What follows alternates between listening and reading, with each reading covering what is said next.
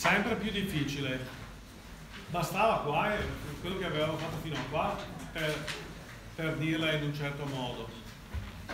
Adesso però cerco di dare una spiegazione un po' più costruita dell'operazione che abbiamo fatto con questa cosa che abbiamo chiamato x quadro e che, ha, che, fa, che è un'operazione che è molto comune in statistica e che appunto riguarda la scelta dei parametri migliori. In realtà eh, la, varia la, varia la, la variabile che abbiamo um, chiamato prima x quadro eh, ha in statistica un nome diverso, eh, simile, come vedete la lettera è simile, si chiama chi quadro, quello è un chi greco. La lettera, chi ha fatto il liceo classico? Nessuno ha fatto il liceo classico, vabbè, quello, è, quello in alto è un chi elevato al quadrato. E allora, supponiamo che i nostri dati, gli x, siano distribuiti, abbiano una certa distribuzione, eh, per esempio una, abbiano la distribuzione che abbia media, media 0 eh, e varianza nulla. Allora possiamo andarci a chiedere qual è la distribuzione di una nuova variabile che costruiamo, che chiamo Q lì, eh, che è la somma dei quadrati di questa variabile costruita facendo 5 campioni, per esempio k campioni di questa variabile, cioè ho un, una serie temporale, tanti valori della mia variabile, che in questo caso sono eh, in questo caso sono il mm, non sappiamo ancora che cos'è, è una certa variabile, lo vediamo dopo che cos'è. Eh, prendiamo questa variabile, la eleviamo al quadrato, se eh, questa variabile compare in 5 realizzazioni, supponiamo in k realizzazioni, sommiamo questa variabile.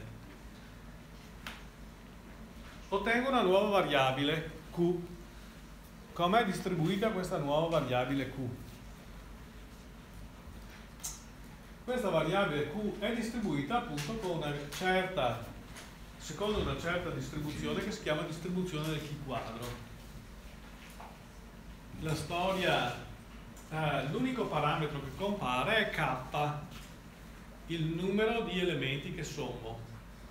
Se k è grande, questa variabile tende ad essere una gaussiana. Quanto grande? Se, k è più grande di 7, 8, è quasi indistinguibile da una curva gaussiana però tende ad essere asimmetrica un po' questa curva. Ha una storia simpatica, se vogliamo, la, questa curva di distribuzione perché fu eh, trovata da un certo statistico che lavorava per la Guinness, la ditta che fa la birra Guinness. Nel contratto eh, che, che, aveva con la Guinness era eh, scritto che lui non poteva pubblicare nessun risultato che non eh, improprio, eh, qualsiasi cosa, chissà come mai c'era questo tipo di, qualsiasi cosa avesse fatto doveva essere sempre pubblicata a nome della Guinness, per cui questo,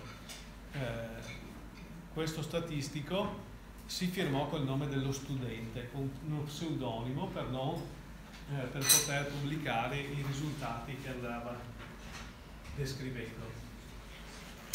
La distribuzione del chi quadro ha una forma abbastanza complicata che non pretendo che voi adesso vi ricordiate in questo modo, ma magari, ed è eh, 1 diviso 2 alla k diviso 2 per una certa funzione gamma di k diviso 2 moltiplicato per x dove x è la variabile elevato alla k meno 2 meno 1 per L meno x mezzi. Io non me la ricordo, eh, la devo sempre leggere, so che esiste, so che ha certe proprietà, dopo nella mano ho scritto il, il nome, l'espressione analitica della funzione.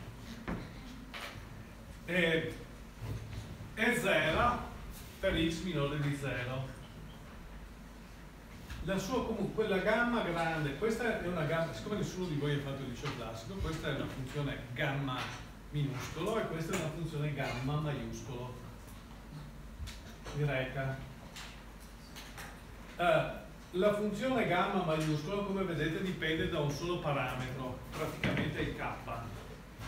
Quella lì si chiama gamma completa, nella slide successiva la vado a definire, è una funzione estremamente, in senso generale la funzione gamma è una funzione importantissima perché compare per varie ragioni in, un po' dappertutto. La funzione sopra che ha due parametri, o due, due slot se vogliamo, uno è il parametro k e l'altro è la variabile che è la x, si chiama gamma incompleta. La funzione gamma, allora, di S e Z, dove S è il parametro e z è la variabile, in realtà è definita attraverso un integrale, che è l'integrale tra 0 e z di t alla 6s-1 per e alla meno t in t. Chi di voi bravo era bravo a fare gli integrali indefiniti ad, ad analisi 1? Nessuno? Tutti schiappe ad analisi 1? Beh, questo integrale, allora costruissi lo costei, probabile una costei, eh, si dovrebbe ricordare che questo tipo di integrali, questo tipo di funzione non è integrabile. Però questa funzione qua compare così tante volte in tantissimi rami della fisica, dell'ingegneria, della statistica, che alla fine per semplificare le cose le si è dato un nome appunto gamma incompleta. Dopodiché ci inventiamo un modo per calcolare quell'integrale lì, approssimandolo. Lo stesso, se ci pensate bene, vale per l'esponenziale e i logaritmi. Il logaritmo di x, noi non ci poniamo il problema di come si calcola il logaritmo di x, però se ci dessero una, solo una carta e una penna non sapremo lì per lì calcolarlo, è così l'esponenziale dobbiamo trovare gli accorgimenti per calcolare. Però il nostro calcolatore portatile il nostro cellulare lo sa fare e allora lo usiamo per fare queste cose. Lo stesso accade per questa funzione gamma, quindi adesso da, da in poi, oltre al logaritmo e all'esponenziale, avete nel vostro carnet delle funzioni trascendenti anche la funzione gamma che è definita così. È una funzione di distribuzione nel senso che il suo integrale tra 0 e infinito, eh, cioè no, il, il suo integrale in S è uguale a 1. La funzione gamma completa l'integrale fra 0 e infinito. Il chi quadro appunto è una funzione che è in qualche modo una restrizione delle funzioni gamma. Che ha questa forma qua, dove ve la vedete disegnata eh, la funzione in chi quadro per vari valori di k, questa variabile che si chiama gradi di libertà. k uguale a 1, vedete, è una iperbole. k uguale a 2 è un esponenziale. k uguale a 5, che sarebbe il nostro caso, è quella magenta. E una cosa interessante che è descritta nella slide successiva è che beh, è una curva per k maggiore di eh, 2 è una curva unimodale. Per k eh, e in particolare la moda, cioè il massimo, si trova al valore k meno 2. Quindi eh, k uguale a 3 è il massimo per eh, per la scissa uguale a 1, k uguale a 4 al massimo per la scissa uguale a 2 e k uguale a 5 alla scissa uguale a 3. Questi sotto sono gli integrali delle curve di sopra. Poi tutte queste cose noi saremo in grado di calcolarlo. Beh, qui ci sono dei risultati che anticipano quello che io già vi ho detto, e cioè che in fondo noi delle distribuzioni, beh, ci, ci interessa la forma funzionale della distribuzione di probabilità, e di verificare che l'integrale rispetto alla variabile su tutto il dominio faccia 1 ovviamente. E poi se possibile ci interessano che cosa? Beh, l'abbiamo in pratica già visto nelle lezioni scorse, ci interessa il valore atteso, ci interessa la varianza, ci interessa qualche momento di ordine superiore, per esempio per applicare il metodo dei momenti nel caso volessimo usare questa distribuzione per interpolare un insieme di dati. In particolare qui eh, questa curva ha la media e la varianza che sono note, in particolare la, la, il valore atteso è k, la varianza è 2k. Eh, la moda invece è pari a k meno 2, se k è maggiore di 2.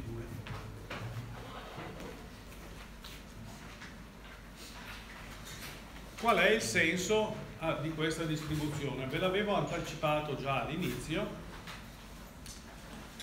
Beh, il senso di questa distribuzione è, eh, guardate quello che era il nostro x quadro di prima. Il nostro x quadro è, abbiamo preso un, un, cer, un, certi 5 gruppi di valori, k gruppi di valori, per ognuno dei valori abbiamo fatto la differenza tra quello che abbiamo osservato e quello che attendevamo in, quel, in, in, quel, in quell'intervallo. Abbiamo elevato al quadrato e diviso per, la, eh, per il valore atteso. Beh, questa variabile qua ha proprio le caratteristiche che cercavamo dell'x quadro che avevamo messo all'inizio nella prima slide di questa serie di slide. E quindi la somma di questa variabile qua si distribuisce in realtà come il quadro.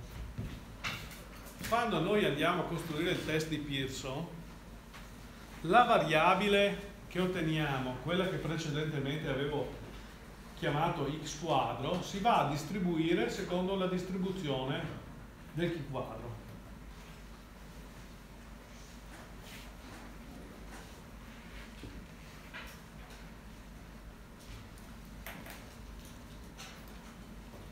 Che cosa succede allora? Beh, questa è una distribuzione del quadro. Qui il grado di libertà è 1, mi pare, o 2, osservando dov'è la moda.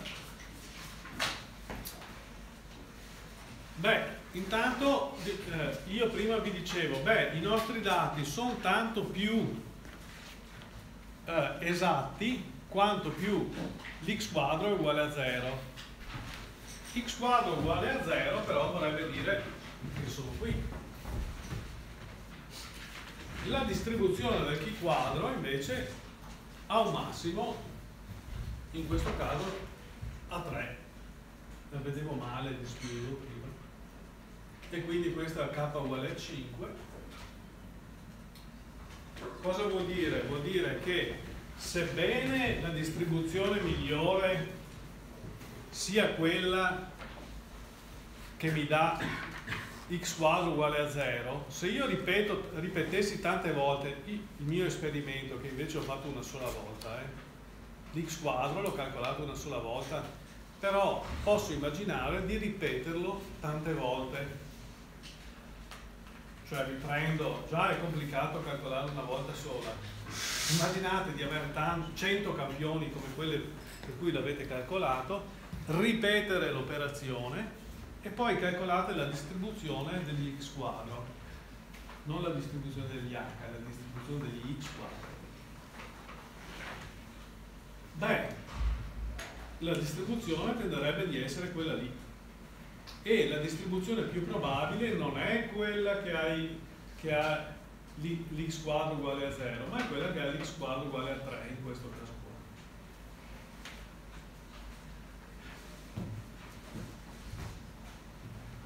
Un'altra considerazione che, che possiamo fare è dire, beh, adesso posso, se io ho dei valori osservati e dei valori attesi, posso dire che i valori osservati e i valori attesi sono la stessa cosa o no? Cioè, dopo, cioè, so che ho degli errori quando faccio delle misure, quando applico delle procedure empiriche. Adesso quindi questa cosa qua mi dà uno strumento per capire se l'osservato e l'atteso li posso considerare simili anche se sono leggermente differenti. Allora, supponete che il nostro x quadro, y quadro mi cada in questa zona qua che ho segnato in grigio. Che cosa ah, mi rappresenta quella zona che ho segnato in grigio? Mi rappresenta la probabilità ah, che eh, la probabilità che l'x quadro sia nel 5% quantile più alto. Si dice che il mio valore di chi quadro in questa distribuzione ipotetica che dovrei ottenere dei miei x quadro, ma io ne ho sempre uno, è sia eh, il, ottengo, cioè la maggior parte dei risultati li ho a sinistra, ho un 5% dei risultati che evidentemente stanno nella coda nella mia, nella mia distribuzione. Ci sono due modi per avere un valore elevato di x quadro. Qui entra il ragionamento. Uno, che effettivamente i miei dati siano distribuiti secondo la distribuzione, i miei dati osservati siano distribuiti secondo la distribuzione che mi ero immaginato, cioè la distribuzione di Google, quando avevo fatto osservati in meno misurati,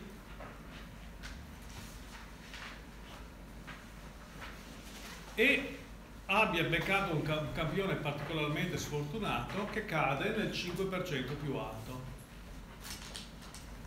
Sono stato sfortunato o fortunato, ho ottenuto un campione che si discosta diciamo dalla media perché il suo x quadro rispetto al valore che mi aspetterei è lì, in quella zona grigia. Oppure l'altra ipotesi che posso fare è che in realtà il mio campione è ovviamente rappresentativo, ma i dati non sono distribuiti secondo Gumbel nel nostro caso, o qualsiasi altra distribuzione, perché se poi tornate indietro nella procedura e a Gumbel sostituite un'altra distribuzione, anche se qui di distribuzioni ne abbiamo ben viste ben tre in contemporanea, cioè Gumbel è quella dei dati originali, la distribuzione del quadro che è questa disegnata e la distribuzione gamma dalla cui quella del, del quadro si origina. Allora, di solito per convenzione in statistica, quando ottengo un chi quadro alto, rigetto l'ipotesi che le due distribuzioni, quella dei dati empirici e quella che io ho ipotizzato, siano uguali. E quindi dico i miei dati non sono distribuiti secondo una curva di Gumbel. Allora, cosa, in che caso ci troveremo? Avremo costruito una curva di Gumbel, anzi ne avremo costruite tre. Ne abbiamo scelta una migliore di tutte. Questa curva di Gumbel però dà un chi quadro elevato ma vuol dire che i dati non sono distribuiti secondo la curva di Gumbel. In realtà non è una decisione che io posso prendere è una decisione convenzionale questa perché ho deciso che se il quadro è più alto del 95% sta in quella zona grigia che vi avevo, che vi avevo segnato prima Ah, allora prendo prendo la responsabilità di dire che le due distribuzioni non sono la stessa, però invece non sono del tutto sicuro. allora si dice che il grado di confidenza è del 5%. Potrei aver scelto un grado di confidenza dell'1% se avessi scelto il 99%, se avessi spostato la zona grigia più in là. morale della favola, la statistica non è in grado di, di, distinguere il vero dal falso in modo certo. Eh, però gli statistici si sono accordati su alcune diciamo, affermazioni convenzionali, cioè che per esempio una serie di dati non sia distribuita secondo la curva che si è ipotizzata se il chi quadro è superiore sta nella zona grigia, ovvero è superiore, è nel, quantile del 5% del quantile superiore della curva. Una volta su il 5% superiore vuol dire che questo evento mi può capitare una volta su 20. Non è così raro, in effetti. Noi, quando andiamo a studiare i tempi di ritorno, studiamo eventi che sono 1 su 200, 1 su 100. Quindi, in realtà, eh, questa struttura convenzionale del ragionamento che ci diamo non è così cioè l'evento, che noi andiamo a scartare non è così raro. Ecco. Potremmo andare a scartare una possibilità che invece è, è corretta ma cadeva nel, nelle cose giuste. Diciamo però abbiamo applicato una, almeno una questione convenzionale. Dunque la statistica non può distinguere qui il vero dal falso, però attraverso una procedura che quella è sia rigorosa matematica mi consente di prendere delle decisioni. C'è una decisione fondamentale che ho fatto che è quella di usare come zona grigia della mia distribuzione del chi quadro solo il 5% superiore. È una scelta soggettiva quindi. Quello che faccio è in generale a vado a considerare la probabilità di superamento di un certo valore critico e in particolare che D4 sia il valore eh, più grande dell'X quadro critico. Questo X quadro critico non lo conosco all'inizio ed è uguale a C. Solitamente C lo metto uguale a 0,95 anzi a 0,5 scusate se la probabilità lo scrivo così se fosse P minore di, del critico sarebbe 0,95, ma P maggiore del critico 0,05. La P è invertibile e mi trovo il valore critico che mi separa la, la zona bianca dalla zona grigia.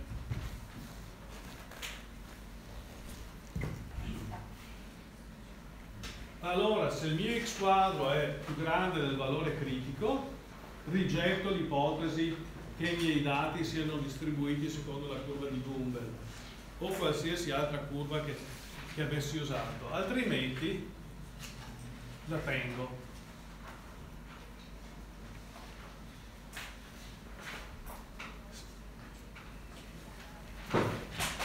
So che questo, questa cosa mi può sembrare complicata, in un certo senso lo è, dovete rifletterci su un attimo, non applicate gli, gli, questi argomenti di statistica, in, in, particolare questa parte, fa parte di un capitolo molto ampio che si chiama test delle ipotesi.